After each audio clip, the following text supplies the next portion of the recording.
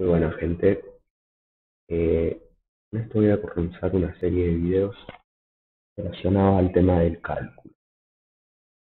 Bueno, el cálculo podríamos decir que es algo así como encontrar una serie de jugadas que me van a dejar con ventaja decisiva en la posición.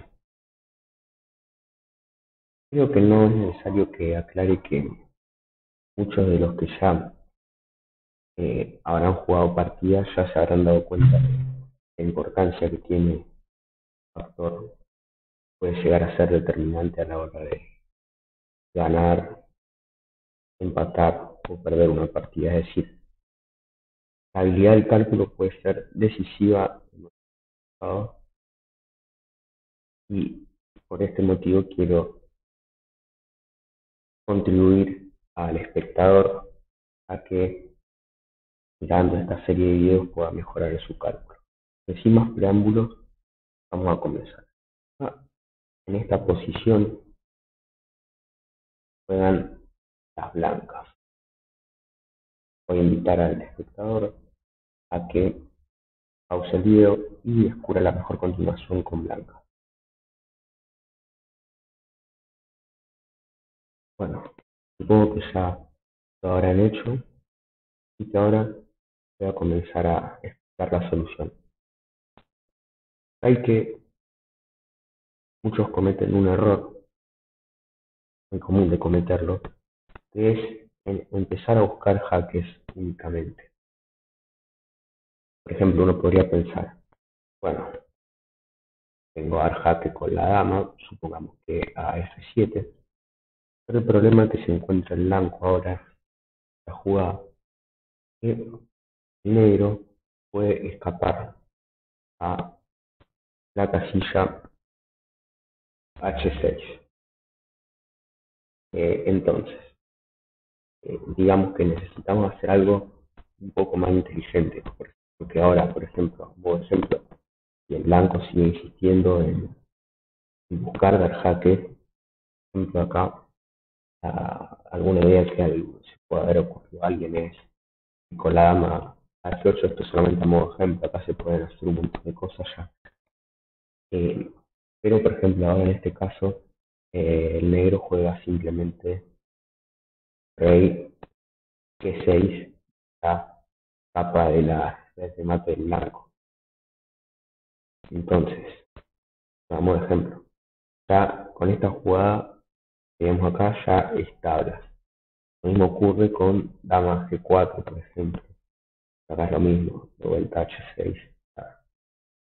No nos va a dar nada útil que en esta posición necesitamos algo más inteligente.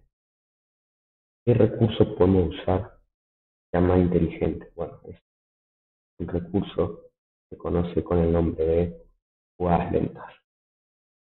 Una jugada lenta es eso, básicamente una jugada que no es básicamente ningún jaque, es algo que lo obliga al, oponente a responder de una determinada manera, como ocurre con los jaques, pero que para una amenaza puede ser igualmente decisiva. Explico, bueno, para que no quiera esperar más, explico la jugada ganadora. La jugada ganadora es torre 6. Con torre 6, vemos que ahora el rey no tiene escapatoria. Y ahora el blanco, el negro, perdón, decir, no, no tiene muy buen, buena jugada con que responder.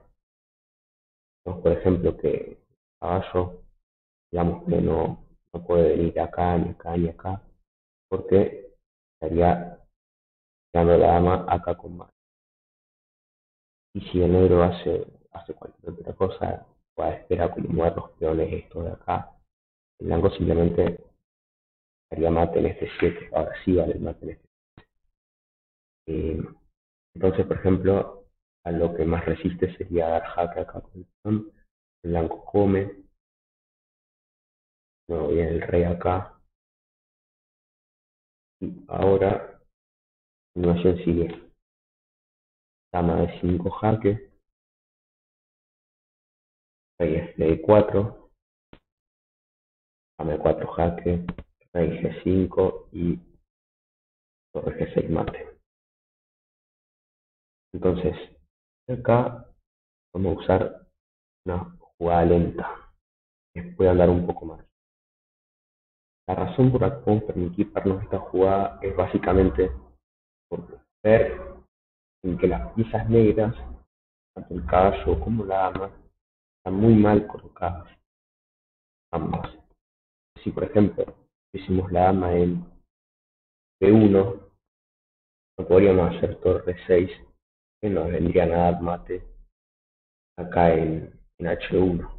Vemos si estuviese acá en F7, ustedes pueden comprobarlo si quieren poniendo la misma posición pero con la dama acá, acá, jugando las, blancas y van a darse cuenta que, o sea, en ese caso, y la única opción sería mirar jaque acá o acá, donde sea.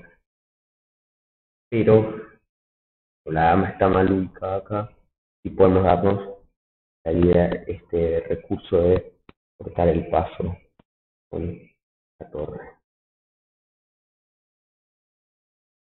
Entonces, conclusión, la clave para entender esta posición consiste en no desesperarse con dar jaques y encontrar soluciones más eficaces.